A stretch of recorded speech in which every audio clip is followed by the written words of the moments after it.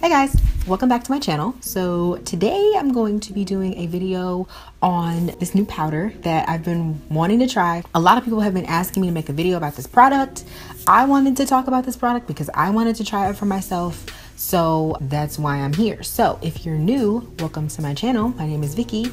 If you're not new, welcome back. Let's go ahead and get started. I'm gonna talk about the new Wowder powder. It is a um, setting like universal translucent type powder. If you guys don't know, I'm obsessed with setting powders and translucent powders because I have oily skin and in the summertime, I don't really like to wear a ton of makeup, but I still want to make my skin look nice. Um, but it looks like I don't have anything on, but I really do. They really help to give me like an even tone, even canvas for whatever I'm gonna put on top of it, whether it be just a few things for a natural look or a full face. I use setting powder a lot and lately I've been obsessed with the Laura Mercier translucent powder in medium deep.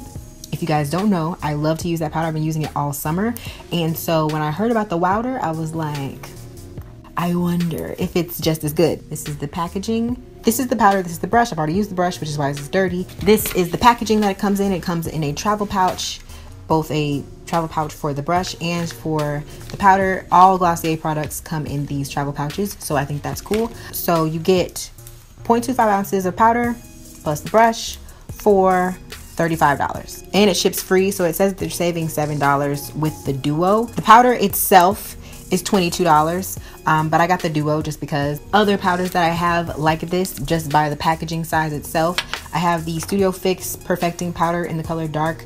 Um, this is 0.28 ounces. It's essentially the same type of packaging um, on the inside of the powder. It's got this little sifter. Studio fix powder has the same type of packaging. The studio fix perfecting powder is $28 so for $28 you are getting the same amount of product. Um, this one is 22 so you're saving yourself about six bucks. Other powder that i really love the laura mercier powder in medium deep. This powder is a lot bigger obviously. You're getting over double the amount. This is one full ounce of powder. The Laura Mercier powder runs for $38, but of course you're getting more product, so that is probably why. And then the Velour Puff is $15 that goes with the Laura Mercier powder, just so you know. Now that I have those pricings and sizes, all of that, we're gonna talk about the actual application itself.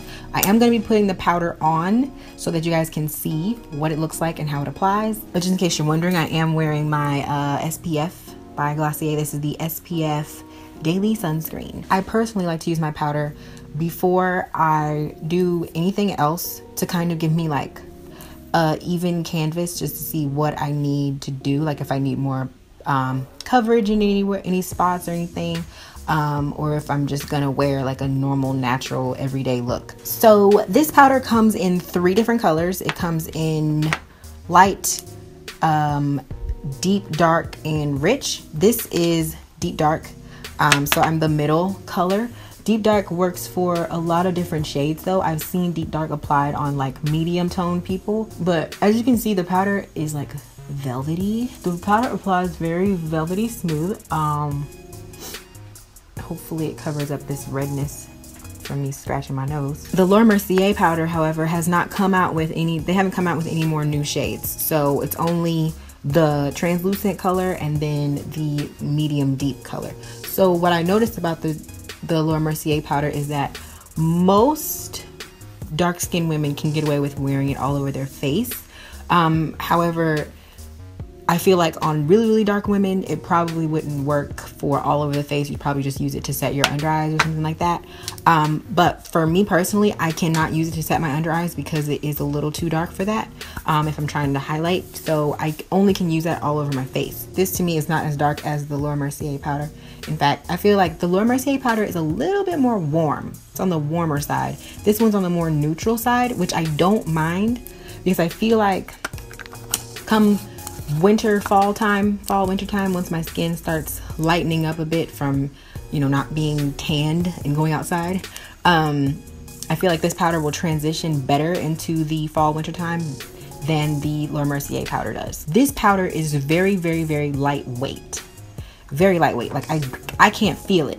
You can see that it does give me a little bit of like not coverage. I don't want to say coverage because it's not covering my dark spots. This kind of gives it a little bit of life just a tiny bit so from here, I could go in with a foundation, I could go in with my concealer and just do concealer if I wanted to have a light amount of coverage for every day. But I feel like this is like a good start. There is a deeper shade in this. So if you are darker than me, there is a darker shade for you. Um, whereas the Laura Mercier powder is kind of just a universal thing. But I also, I feel like with this powder, you have a little bit less commitment to make because it's only $22 as opposed to spending $38 on a full one ounce of powder that you'll probably take a long time to get through. I'm gonna use this uh, powder puff with this to see how it sits on my face. Like I said, it is not as warm and it is not as dark as Laura Mercier powder tends to be on me. This is Laura Mercier. As you can see, Laura Mercier powder is very, very, very warm. So if you're not a warm tone person, this powder might not work for you. So for people with cooler undertones, you're gonna wanna go with a powder like this. If you have uh, warmer undertones, you would want to go with this one. Um, but like I said, the Laura Mercier powder only comes in one deep shade. This powder is good for me when I'm tan in the summertime. But like I said, I feel like transitioning into the wintertime, my skin is not going to go well with this. We'll have to see. But I'm feeling like that's what's going to happen. Let me also compare it to the um, Perfect Setting Powder in Translucent Deep by Cover FX. I don't use this powder a lot. This is how much? How how much is this? This is 0.35 ounces, a little less than the Laura Mercier. I don't use this powder because to me it's way too it's not dark, but it makes me look burnt. I'm not sure what the undertone on this is. So to me, this looks a lot like the Wowder powder, but it's a little bit deeper. I don't know what the rich powder looks like, the Wowder rich powder. Um, so if any of you have tried it, let me know what you think about the undertone. Um, but this is what we're working with here. Okay, so I've wiped away all the powder and as you can see, this side, you probably can't really tell. It's not that huge of a difference. This one is a little bit darker and a little bit more warm. So just depending on what kind of look you're going for, that's what you're working with. So if I didn't own either of these powders and I wanted to, and I tried them both and wanted to see which one I was gonna purchase, um, I know my skin is different in the fall winter time than it is in the summertime and this one is going to work a lot better for me in the winter. I, I can already tell. However this one has been my summer holy grail. So i mean i guess it just depends on what you're trying to do. But it definitely depends on your skin color your undertone what you think. I don't know. Do I think this is worth the money? Yes. Do I think this one is worth the money? Yes. So, like, I mean, I guess it just depends on your personal preferences. To me, having this is a little bit inconvenient sometimes just because it's really, really big. It's hard to travel with. It doesn't really fit into small places like I would want it to. This one I see I feel like would fit into smaller compartments better so that if you did want to travel, this is a little bit easier to travel with. And I feel like the Duo is cheaper than this, so you're kind of getting a good deal. If you don't have a brush, of course, but most of you who wear makeup probably do have a brush to apply it. But if you are a beginner, then having a brush to come with it is kind of like convenient too. So $35 to me is not super, it's not that bad because if you think about it, if you go to the store and get a setting powder, it's gonna run you for around $10 at the grocery, like at, you know, Target or Ulta or something like that. If you get an inexpensive powder, it'll probably be around seven to fifteen dollars, depending on the brand. And then a brush is gonna be around ten dollars. A good brush, probably gonna be around 10, 10 to fifteen dollars for a good powder brush. So I mean, you're kind of spending the same amount of money. You know, it just depends on what and how you want to spend your money. Um, you guys, if you've tried it, let me know what you think. But my first, imp- well, my second impression of it is that it's pretty good. I'm gonna keep using it. I like it and I do think it's worth the money. It's a really nice powder.